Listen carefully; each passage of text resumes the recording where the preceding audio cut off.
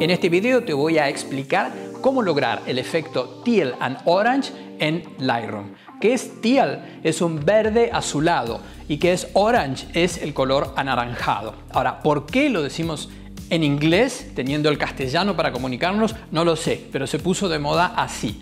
Es un efecto que viene de la industria cinematográfica y nos permite lograr sombras azuladas y altas luces anaranjadas. Esto nos evoca la hora dorada, la última hora del sol en la que el sol ilumina con sus últimos rayos cálidos y también nos permite lograr un alto contraste de color de modo que la imagen se hace muy atractiva y muy interesante. Vamos ya mismo a Adobe Lightroom Classic CC. Esto es Teal and Orange, una fotografía que tiene las sombras azul verdosas o azuladas y las altas luces anaranjadas. Esta es la fotografía original y esta es la fotografía con el efecto Teal and Orange. Esta es una fotografía tomada en el Parque del Retiro en Madrid, tal como salió del teléfono y esta es la fotografía aplicando el efecto Teal and Orange. Así que vamos a ver cómo trabajar el efecto Teal and Orange sobre esta fotografía. Lo primero que vamos a hacer es ir al panel de básicos, esta foto está tal cual salió del teléfono en este caso, y lo que haremos es aumentar un poco la exposición, asegurarnos de tener los negros bien bien marcados, vamos a aclarar un poco de sombras para que haya detalle en las mismas y vamos a agregar un poquito de borrar neblina para que la imagen tenga más presencia. Estamos en la versión de Lightroom 11.3.1 en junio de 2022. Vamos a ingresar al panel de tono, saturación y luminancia primero y vamos a dirigirnos a azul y en azul vamos a seleccionar tono y en la opción tono vamos a desplazar el cursor en azul hacia la izquierda y vamos a hacer que los azules sean un poquito más cianóticos, tengan un poco más de cian como se ve en este cartel que está aquí. Los demás colores no van a tener mucha influencia, a veces podemos tocar agua marina eh, y vamos a tocar naranja llevándolo hacia más naranja.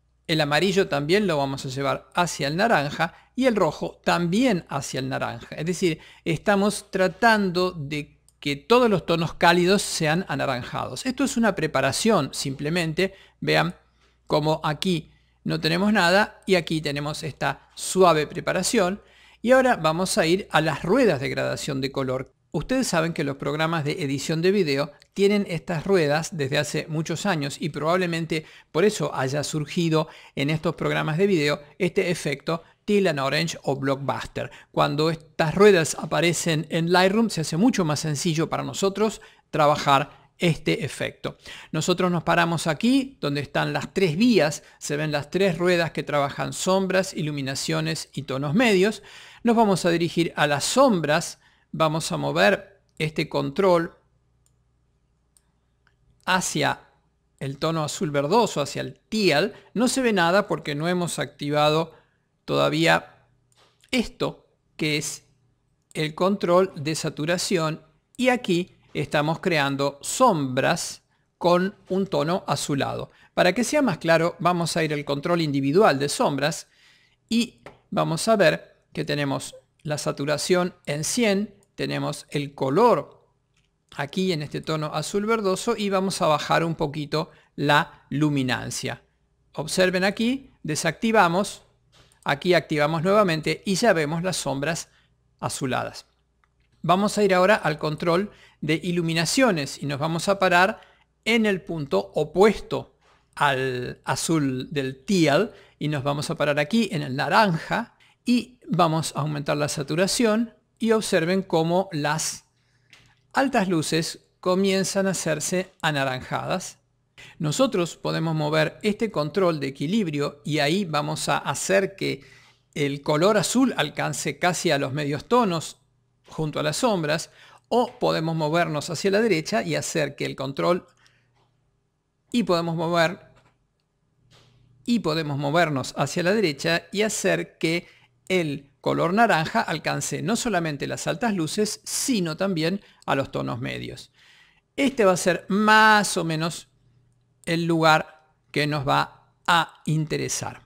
Bien, estamos aquí.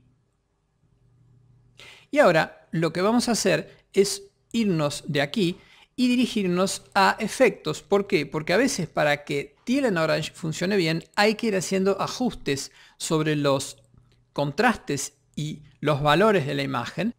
Y aquí en la periferia tenemos una gran cantidad de tonos que vamos a querer convertir en sombra. Entonces vamos a bajar aquí cantidad vamos a generar esta viñeta y entonces al haber generado esta viñeta, muchos de los tonos medios del cielo se van a haber convertido en sombras y por lo tanto van a absorber el azul. Aquí en iluminaciones vamos a dar hacia la derecha. Cuando hacemos esto en una viñeta, lo que ocurre es que la viñeta no alcanza las altas luces y esto nos va a servir bastante a nosotros. Correcto, vamos a seguir ajustando tonos para volver después con más fuerza a aplicar las gradaciones de color. Vamos a ir a básicos, vamos a ir al control de las máscaras, vamos a generar un degradado radial, algo que yo uso siempre mucho, y lo vamos a aplicar en la cara, porque con todo esto que hicimos, estuvimos oscureciendo la cara. Vamos a aclarar sombras en la cara, vean cómo la, cara se limpia al aclarar las sombras, esta es la máscara que tenemos en la cara. Y vamos a bajar un poco de claridad también, no tanto ahí, pero vamos a bajar claridad para que la, eh, la cara sea más suave y vamos a bajar también la saturación para que el tono sea más normal. Extendemos un poquito y aquí tenemos entonces la cara corregida. También otra cosa que podemos hacer utilizando las máscaras de Lightroom es hacer una selección de el sujeto. Bien, Observen cómo Lightroom ha seleccionado el sujeto y ha incluido junto con la figura humana parte de la estructura de madera. Y vamos a aumentar un poquito la exposición aquí. Vamos a aumentar un poco la textura. Y vamos a controlar el valor de los tonos cálidos. Podemos bajar un poquito la saturación para que no sea tan explosivo. Entonces vean que el Teal Orange no es solamente una cuestión de regular color, sino que además vamos a tener que organizar los tonos para que esas regulaciones de color caigan en la zona adecuada. ¿Les gusta este video? Recuerden darnos un like y suscribirse a nuestro canal. Vamos de vuelta entonces ahora a gradación de color. Con estas correcciones que hemos hecho vamos a poder trabajar con más libertad. Y vamos a ir a los tonos medios que nosotros no los hemos tocado hasta ahora. Entonces, en los tonos medios, nosotros vamos a poner una pequeña saturación aquí. Nosotros podemos hacer que los tonos medios sean más azulados, como ustedes lo están viendo acá, o podemos hacer que los tonos medios sean más cálidos. O pueden ser verdosos también, pero digamos, manteniéndonos en la polaridad entre azul y naranja en los tonos medios. Nosotros ya las puntas las hemos adecuado. Lo único que tenemos que hacer es ahora ver qué vamos a hacer con los tonos medios. Esto es muy intuitivo y va en gusto. Ya ustedes quizá lo harían de otra forma. Yo lo hago de esta. A mí me gusta aquí. Me gusta meter un poco de azul en los tonos medios, no mucho. Aquí está bien. Y ahora, yendo hacia abajo, en equilibrio, nosotros podemos volver a balancear el equilibrio entre tonos azulados y tonos anaranjados. Vean cómo se mueve el histograma arriba, ¿no? Qué bueno. Bien, aquí me parece que está bastante bastante bien. Esto ya es artístico, es cuestión de, gusto simplemente. Finalmente ustedes pueden recurrir al último ajuste de gradación de color y ahí lo que vamos a colocar es un ajuste global, es decir, estoy, aquí estoy colocando azul global arriba de todo y aquí estoy colocando verde global. No es lo que quiero, verde. Vamos a este azul, vamos a bajar mucho la saturación. Y ahora vean que si yo tomo este cursor, yo puedo ir agregando globalmente color y esto también será en base al gusto de cada uno. Acá sale como una cosa vintage. Acá sale algo más actual, más moderno. Pero vamos a hacer esto. Vamos a agregar como tono global un poco de azul. Y vamos a ir de vuelta a tono, saturación y luminancia. A saturación. Nos vamos a elegir la herramienta interactiva. Nos vamos a parar en la cara y vamos a aumentar la saturación de la cara, solamente de los tonos piel. Bien, y entonces aquí ya tenemos casi nuestro ajuste terminado.